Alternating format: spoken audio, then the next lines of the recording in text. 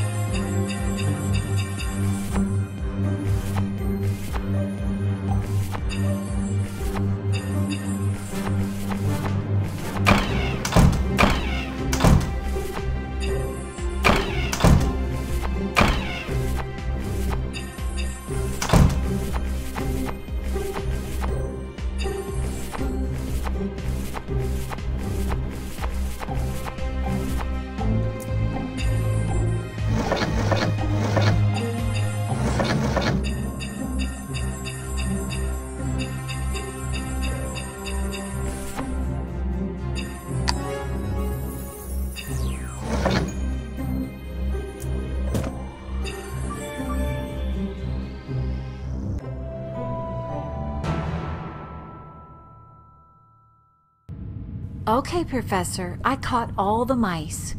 Oh, thank you, Vera. Now tell me, are you okay? Absolutely not. My wedding is in two days. My fiance stole some dinosaur eggs from the Jurassic period, and now I've got to travel to different times in history with the use of a mobile phone to find these eggs. I'm definitely not okay. Perhaps you could explain this to me. Well, I don't understand it myself. Tom and I built a time machine. We had to test it, so Tom went to the future and disappeared. And then the phone came back here by itself. And then you showed up here looking for Tom, took the time machine, and disappeared. That's all I know. And what time did Tom go to the first time? 100 million years into the future. Good heavens! Why did he go that far into the future? He needed to find out what the atmosphere consisted of 100 million years from now for his dissertation. You scientists are crazy. By the way, does this look familiar? Hey, the death of Socrates. It's your painting? My wife gave it to me for my 40th birthday. Oh, my Gretchen. Oh, my head is spinning. I need my pills. What pills? Where are they? They are for my condition. I'm losing consciousness. Ugh. Great. I need this like I need a hole in my head. Einbach. It looks like he passed out.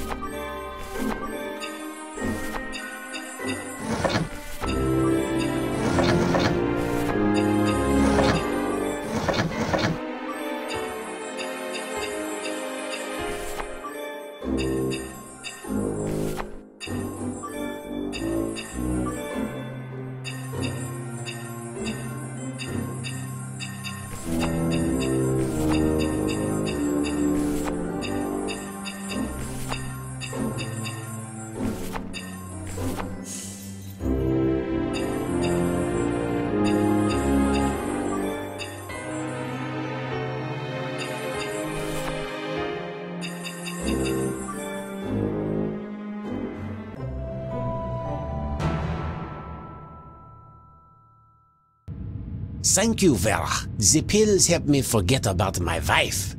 What happened to her? She loved canoeing, and then one fine day she paddled off and never came back. And every time I think about her, I pass out. You know, Professor, I don't know if Tom told you, but I'm a professional psychoanalyst and I think I can help you. Really? How? It looks like you're being tormented by acute autophobia, the fear of being left alone. You need to get over this. Yes, but everyone experiences loneliness. True, but not everyone passes out as a result. Now look deeply into my eyes and relax. I will hypnotize you and make everything better.